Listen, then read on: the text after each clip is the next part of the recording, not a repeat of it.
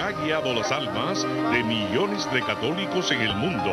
Tú sabes el mundo en el que yo he andado. Y nunca me han faltado ofertas para fallar el celibato. Hasta que el escándalo por la publicación de unas fotos comprometedoras lo forzaron a confesar su relación con una mujer. Desde que la vi, sabía que me gustaba. ¿Dónde se conocieron? En la iglesia. El padre Alberto Coutier revela las intimidades de su amor secreto. Nunca voy a pedir perdón por amar a una mujer. El caso ha reabierto el debate sobre el celibato en la Iglesia Católica. En la vida, todos necesitamos intimidad. A veces la intimidad se traduce a sexo. ¿Tenían una relación sexual? Las autoridades de la iglesia lo suspendieron de su parroquia y ahora sus fieles están divididos en su propia fe. ¿Te gustaría casarte? formar una familia, tener tus propios hijos. ¿Qué repercusiones tendrá este anuncio en el futuro del popular clérigo? ¿Con qué moral tú podías confesar a un feligrés, por ejemplo, que había pecado cuando tú estabas pecando? Las confesiones del Padre Alberto. Hola, ¿qué tal? Muy buenas noches y bienvenidos a una edición especial de Aquí y Ahora, las confesiones del Padre Alberto Cutier. Les invitamos a que nos acompañen en vivo durante la próxima hora. María Elena tiene la noche libre. Desde el momento que se dieron a conocer en una revista las imágenes comprometedoras del padre Alberto Cutier con una mujer, el escándalo no solo ha estremecido los cimientos de la Iglesia Católica, sino el corazón de todos aquellos que lo quieren y lo respetan. Su confesión de que lleva poco más de dos años en una relación amorosa con una mujer divorciada también ha reabierto el debate sobre el celibato y dividido a feligreses y jerarcas por igual. Algunos lo apoyan y otros se sienten heridos y defraudados. La noticia se ha vuelto tema obligado de conversación, no solo aquí en Estados Unidos, sino en América Latina y Europa. El pasado viernes, el padre Alberto Coutier decidió romper su silencio para hablar en exclusiva conmigo y a través de este programa. Lo hizo sin reservas ni condiciones.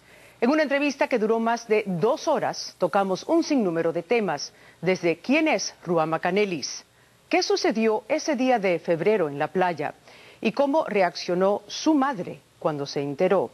El padre Alberto también vio por primera vez las controvertidas fotos que ya le han dado la vuelta al mundo. Esta misma noche, el padre Alberto Coutier respondió a los últimos rumores sobre la existencia de un presunto hijo con Canelis. A continuación, las anticipadas confesiones del padre Alberto. Bueno, bienvenido, Padre Alberto, y gracias por concedernos esta entrevista. Eh, quiero aclarar algo antes de empezar, que nos conocemos hace por lo menos 10 años, así que somos amigos, eh, y por lo tanto, eh, te voy a tratar de tú, no de usted. Me gusta. Yo, yo soy un ser humano como cualquier otro, ¿no? Ok, perfecto. Y me encanta que me digan Alberto, mis amigos, y somos amigos hace mucho tiempo. Perfecto. ok. Veo que has llegado a esta primera entrevista televisada con tu cuello romano. ¿Por qué? Bueno, yo soy sacerdote y voy a ser sacerdote hasta el día que me muera. Hay distintas formas de ser sacerdote. Eh, puede ser un sacerdote activo, no en el ministerio, su- cumpliendo todas sus funciones. A veces hay sacerdotes suspendidos, yo no he sido suspendido. ¿La iglesia no te lo pidió a ti o no te No dijo me lo exigieron, no, no. Yo lo pedí para reflexionar y pensar sobre las cosas, así que no he entrado en la etapa ¿no? de tener que quitarme esto. Esa es la forma que siempre me he vestido profesionalmente. O sea, esto es un uniforme, si quieres, eclesiástico, pero esto no me hace cura. Si me quito esto, sigo siendo sacerdote. El padre Alberto Coutier, a sus 40 años, es un sacerdote moderno. Nacido en Puerto Rico de padres cubanos, amigo de los ricos y famosos, Coutier ha bautizado, casado y bendecido a generaciones de celebridades. Entre sus más recordados ritos están los funerales de estrellas como Celia Cruz en julio del 2003 y de Israel López Cachao el año pasado. El padre Alberto ha tenido una exitosa carrera en los medios de comunicación, con programas de televisión, columnas en diarios, la publicación de un libro y la dirección de una cadena de radio católica. ¿Cómo te sientes en estos momentos? Mira, lo primero es que uno se siente arrepentido de lastimar a las personas, ¿no? Porque nunca fue mi intención lastimar a nadie. De hecho, yo amo la iglesia amo ser sacerdote de Jesucristo, amo lo que significa eso, y creo que la gente sabe muy bien que yo lo amo, porque yo creo que lo he representado a nivel internacional.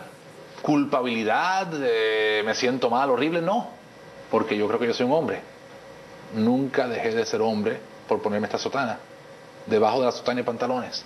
Cuando te comprometes con la iglesia, con Dios, eh, primero dices soy un ser espiritual y luego soy ser humano. O sea, el ser humano pasa a segundo plano. Realmente ¿Es cierto no. eso? Realmente no. Teológicamente no. Eh, quizás mucha gente piensa eso y me encanta que lo digas, porque yo creo que en el mundo latino especialmente pensamos así. Pero Dios nos hizo cuerpo y alma. Dios nos hizo cuerpo y alma y el ser humano no deja de ser humano por ser espiritual. Y no deja de ser espiritual por ser humano. Las 25 fotos que aparecieron publicadas hace una semana en la revista TV Notas revelaban al padre Alberto humano, acompañado por una mujer en una playa y en un restaurante, pero iban más allá. Mostraban una faceta de su vida que sus fieles desconocían. ¿En qué momento te enteras que existían estas fotos? Que existían en realidad nunca me enteré hasta que las vi. Eh, Es interesante. Sabía que durante algún tiempo me estaban persiguiendo. ¿Quién tendría razón para seguirte, no? O sea, Eh, muchas razones. Yo creo que yo siendo cubano-americano, ajá. tenemos la paranoia ¿no? de que quizás alguien de otro gobierno, de otro lugar, no Un sin espía mencionar, cubano. eh, quizás nos estaban buscando. Eh, tuve experiencias a veces incluso en Radio Paz que yo veía carros extraños cuando yo salía, a veces salgo tarde en la noche del trabajo o llego temprano y veo cosas y digo, ¿quién estará siguiéndome? ¿no? Todo eso era una realidad para mí. Él asegura que el incidente en la playa sucedió un día de febrero pasado. Me acuerdo que ese día, ¿no? De sol en la playa, eh, que había frío, mucho frío. Eh, no había nadie.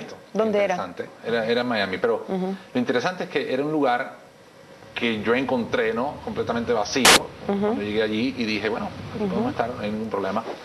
Eh, la realidad del caso es que me doy cuenta cuando el salvavidas saca la cabeza y empieza a hablar por un celular. Y yo pensé escuchar mi nombre, Padre Alberto, pero dije, nada, no le presté mucha atención. Según él, su acompañante fue quien se dio cuenta que los estaban espiando. Nos están grabando. Y yo, ¿nos están grabando quién? Y es la primera vez que yo miro y veo la cámara. ¿Cuál fue tu reacción? Mi primera reacción fue, ¿qué puedo hacer? Ya pasó. Mi primera reacción fue estar tranquilo, ¿no? Y No recogieron las cosas y se fueron, se quedaron No, ahí un pero buen parece rato. que desde- casi desde el momento que nosotros nos damos cuenta Ajá. que hay alguien, empieza ya a irse la, la camarógrafa. la- La fotógrafa. la fotógrafa. Era una mujer gruesa con una cámara, eh, escondida, ¿no? porque la, la estaba tratando de, ocultar. Todavía no sabes quién es. No. Ella no me trató interesa, de. Te voy a decir la verdad, no me interesa. ¿Trató de, de ponerse en contacto contigo para venderte las fotos? Nadie habló conmigo sobre Nadie. eso. ¿Y cuándo es que tú te enteras que las fotos han sido compradas por una revista y que van a salir? Uy, el día que salieron. Nadie me llamó, nadie se me comunicó conmigo. Pasaron tres meses desde que tiraron esas fotografías y ese video supuestamente a que salen. ¿Podrías dormir en las noches sabiendo que existe un video, posiblemente fotografías mías con una mujer en la playa, en posiciones comprometedoras, y van a salir en cualquier momento? En cualquier momento va a estallar una bomba. Te voy a decir la verdad. Si al principio no se preocupa y vive con esa ansiedad, pero yo desde hace mucho tiempo he vivido mi vida como lo que Dios quiera. O sea, yo no soy miedoso. Yo pienso que el miedo es muy mal consejero. Aquí tengo la famosa revista. Yo no la había visto, ¿eh? ¿Es primera vez que la ves? Ujú. O sea, yo ¿Qué estuve sientes? allí. ¿Qué sientes yo estuve allí sé lo que pasó. ¿eh? Eh, y fíjense, la primera reacción de, de- de una persona que llamé, uno de mis amigos, era, pero si hoy día cambian las fotos y hacen Photoshop, montajes. Ajá, de- De, montajes. fotos. Eh, ese no eres tú, tú di que es un montaje. Y yo dije, yo